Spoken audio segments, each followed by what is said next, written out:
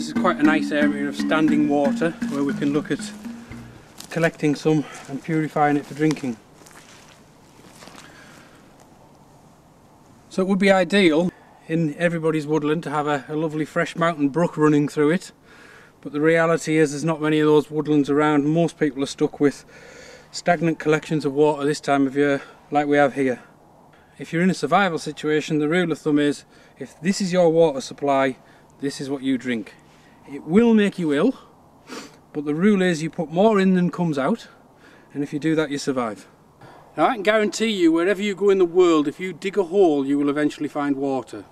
That hole might be two miles deep so therefore you'd spend an awful lot of time and energy digging it. But if you know certain plants, you can find indications of where water is closer to the surface. And one of the best plants for finding water close to the surface is this plant here. So this is soft rush. Got no edible properties whatsoever, but the beauty of it is, if you split it open, it contains like a white spongy material. Now this you can use as a filter straw in the water. You suck the water up through there and any small particles, insect eggs, any pieces of floating debris and stuff like that will get stuck in this spongy material so therefore you're improving your water source.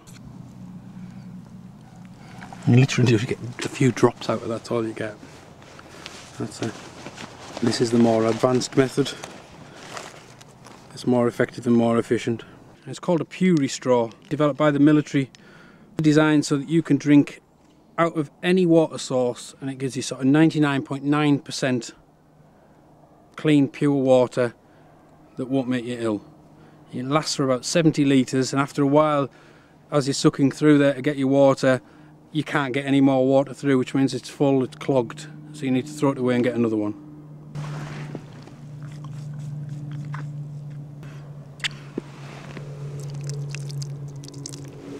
well, you can quite see it, clear, clean water. Has no taste whatsoever to it, so you're not picking up any residue of any of the soil or any bacteria or anything like that.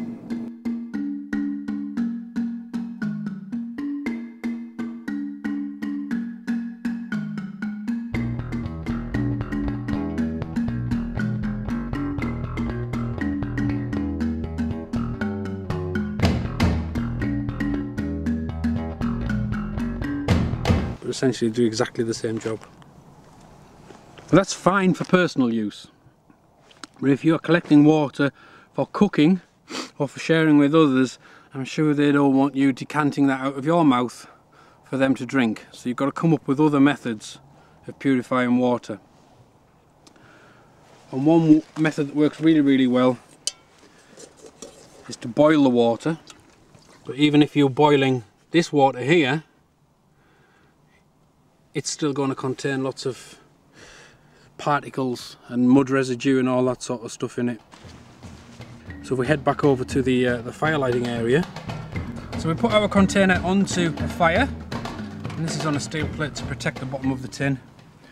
And the whole idea is that we're going to heat the water up in here to create steam which will then discharge itself through this pipe and as it travels further and further along the pipe it should condense into water and then the, uh, the aforesaid mentioned drinks bottle that you find wherever goes into the end of the pipe and it's a quite a long slow process and it's quite a nice twilight activity around the campfire to produce your hot water.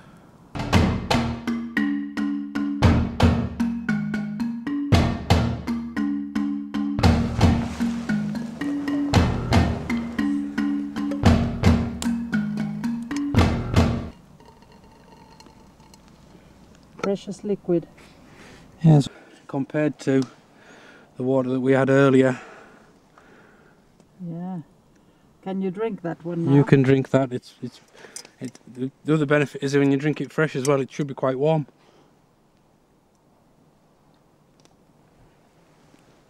Fresh, pure water.